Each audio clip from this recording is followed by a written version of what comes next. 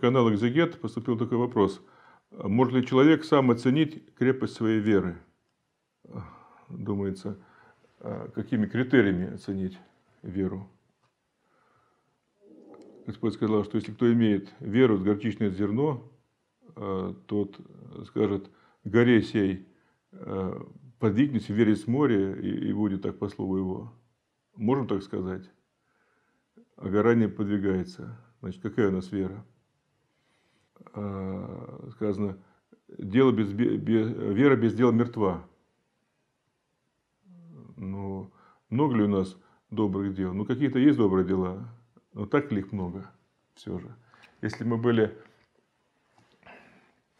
верующие, а, а, ну, так как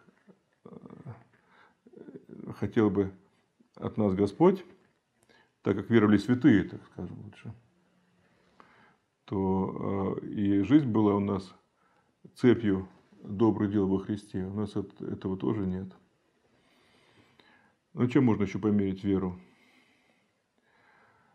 Э, Господь говорит, не бойся, только верь. Часто мы боимся? Давайте спросим себя. Часто ли нас посещает чувство тревоги? Ну, что ты тревожишься? Казалось бы, Господь-то рядом с тобой, Господь тебя любит. У тебя и волосы все сочтены. А что ты боишься, что ты тревожишься тогда? Ты боишься заболеть, но а что, ты убирать не собираешься впереди? Все равно, так или иначе, большинство из нас болезнь и смерть. Но впереди жизнь вечная, опять же. Ты же веруешь в жизнь вечную. А почему же ты боишься? В чем же твоя вера?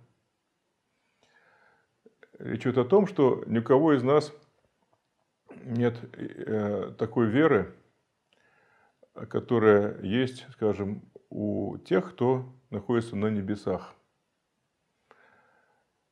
У нас другая вера, вера человеческая, вера несовершенная.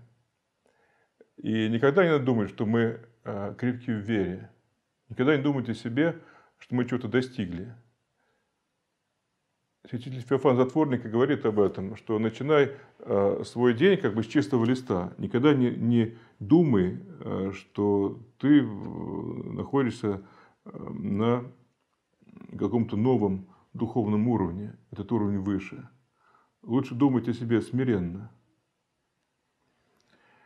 И когда думаешь о себе смиренно, то ты приходишь к такому выводу, что на самом деле ты немощный человек.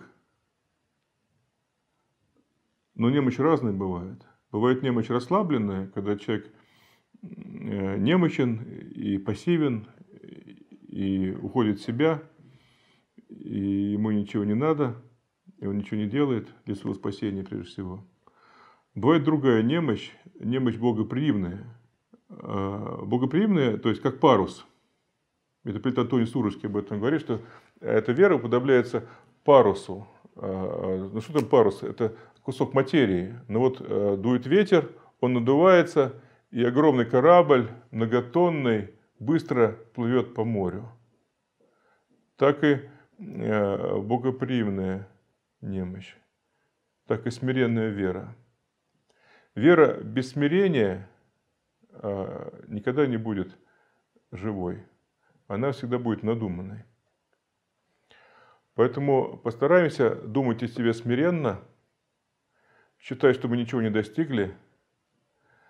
Постараемся а, не забывать о своей немощи, ни, над кем не превозноситься, открывая свое сердце Богу, и Господь, видя нашу открытость, видя наше желание а, быть твердым в вере, придет к нам и наполнится парус нашего сердца дыханием Божьим – и появится у нас и сила, и э, все необходимое э, для того, чтобы нам сдвинуться с мертвой точки и в конце концов покаяться. Но все же э, мы никогда не должны терять надежды на эту силу Божию. В этом будет наше смирение, и в этом будет крепость нашей веры. Как сказано в притчах Соломоновых, «Надейся на Господа всем сердцем твоим и не полагайся на разум твой». Во всех путях твоих познавай его, и он направит стези твои.